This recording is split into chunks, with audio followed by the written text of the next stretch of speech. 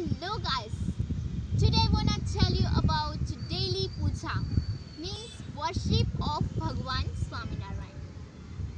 Lord Bhagwan Swaminarayan has explained in his Shikshapatri a daily routine for all of his followers and devotees are commanded to perform daily puja immediately after taking their morning bath and one should not have breakfast and even water before daily puja. And for puja we have to wake up before sunrise. So uh, guys there are some particular process of puja. First of all we have to do pranayam and dhyan for our concentration in our puja. And there are some particular words of Bhagwan Swaminarayan which we have to speak in our puja.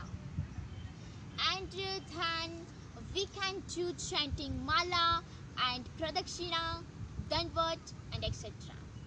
And we have to read only one page of Shikshapatri which is written by Bhagwan Swaminarayan. Guys, there are many benefits of puja not only mentally but physically also. We can get positive energy for our whole day. Swami Maharaj says that Nitya Puja means opportunity, golden opportunity to repay the indebted benefits of Paramatma.